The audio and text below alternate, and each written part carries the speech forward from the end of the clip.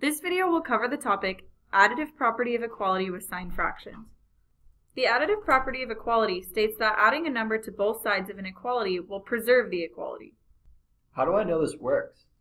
We can confirm this with a quick example. 2 equals 2 is a fact. But what if we added 3 to both sides? Well, we'd get 3 plus 2 equals 2 plus 3, which simplifies to 5 equals 5. So I think this is right. That's right. This property is useful when trying to solve for a variable that has a constant being subtracted from it. So for example, to solve for x minus 5 equals 6, the additive property of equality lets us add 5 to both sides, giving us 5 plus x minus 5 equals 6 plus 5, which we can simplify to x equals 11. Now, if there's a fraction involved, we follow the same process, but there's going to be an extra step. We would have a fraction addition problem on one side, so we would need to make sure the denominators are the same, and then we could simplify to a single fraction. Alright, I think I get it, but how about an example? So let's say we're given x minus 8 ninths equals negative 6 over 21 and told to solve for x. So we want to get x by itself, so we add 8 ninths to both sides, right? Right, we see that 8 ninths is being subtracted from x, so to get x by itself, we need to add 8 ninths.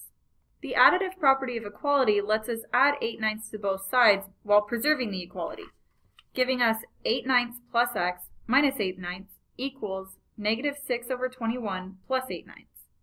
So the 8 ninths will cancel and we'll have x by itself. Right, our equality is now x equals negative 6 over 21 plus 8 ninths, but it isn't simplified yet.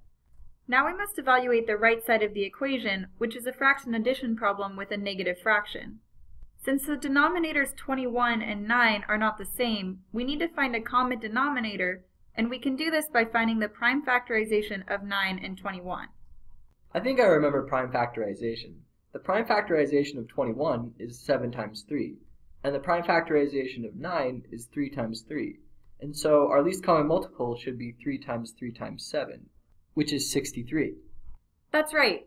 So now we need to manipulate our fractions so that they have common denominators of 63. When we do this, our fractions become negative 18 over 63 and 56 over 63. Now we must add our fractions together. We can do this by adding the numerators and keeping the denominator the same. Negative 18 plus 56 equals 38, so our answer will be x equals 38 over 63. So if we're given an equality in which a fraction is being subtracted from x, we can add that fraction to both sides in order to get x? Exactly.